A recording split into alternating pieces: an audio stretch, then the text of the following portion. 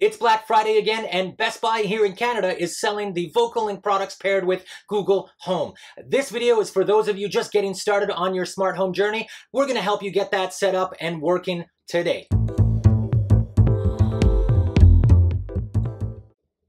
Hey guys, Chris Young here from HomeKit Geek, the channel where we bring you new smart home content every week, looking at Apple, Google, Amazon, and whatever else I find interesting. If you find that interesting, do me a favor, consider hitting that subscribe button and ringing that bell to be notified when new videos are added.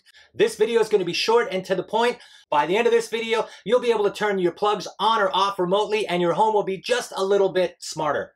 Let's check it out. So step one, assuming that you're on an Apple phone, you're going to go into the Apple App Store, download the Google Home app, Google Home. log into it, and create yourself a new home. Uh, right above there, we should see the setup Google Home device. I'm going to be using a Google Home Mini in this case, and it will basically find that right away. If you don't already have a home, you can create a new home and put in your uh, the name of your home as well as an address if you want to.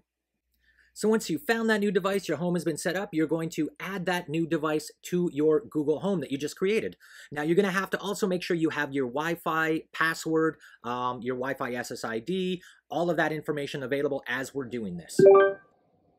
So as going through the setup process, once you hear that sound, we're going to put this in a room. And that's a way to keep your smart home a little more organized and keep your, your devices together so you know when you're turning off the living room right lights or not. We're going to attach this to the right Wi-Fi network and it will then connect to Wi-Fi.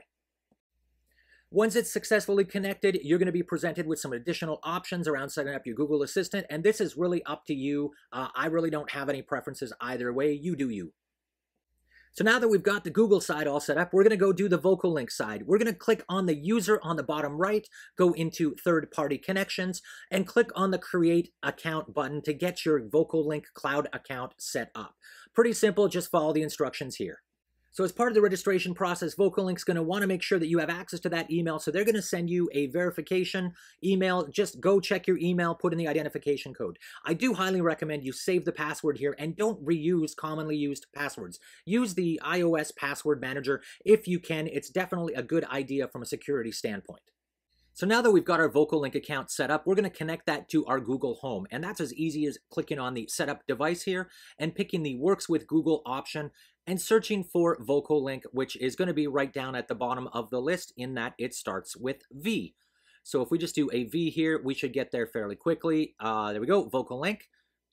And now we're going to be taken back over to the Vocolinc site where you're going to use the same username and password that you just created. So once you've typed those in, you'll be taken back to Google Home and you'll see that Vocolinc is linked down there at the bottom, which means that from here on in, any new devices you add to the Vocolinc app are going to be able to be connected to Google Home.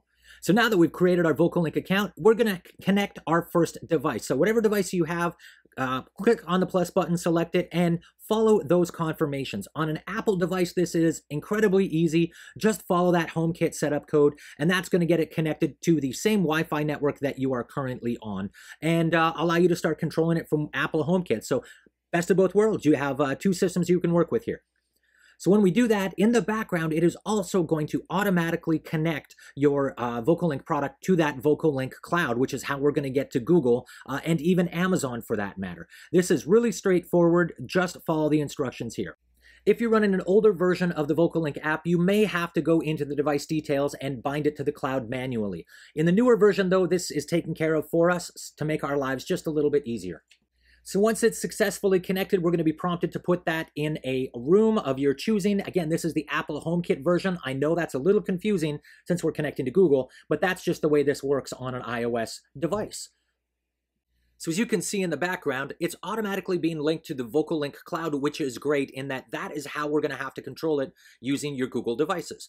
So for the next step, let's go back over to the Google Home app and make sure that everything is connected as we expect. So scrolling down a little bit, you'll see here that we have a device which has been linked to us, but not in our home. And that's the Vocolinc Smart Plug that we just added, which is kind of awesome. We click the Add to Room button, you select the room you want it to be in, and if that room doesn't exist, you just create your own name nice and easy. Now we can see that the in the app, the Vocolinc smart plug is in the same room as my office speaker, which is uh, now available to be controlled on or off. As well, I can use the magic commands to say, hey G, uh, turn the light on, turn it off, and in the background here, you can see when I turn it on, there's a little bit of a delay, which is normal, but uh, I now have the ability to turn that plug on and on and turn the light bulb on and off in the background. Uh, that's it. We're good to go. You've now got control over your house. You can schedule this. You can use all the Google automation tools available to you to make your life just a little bit easier.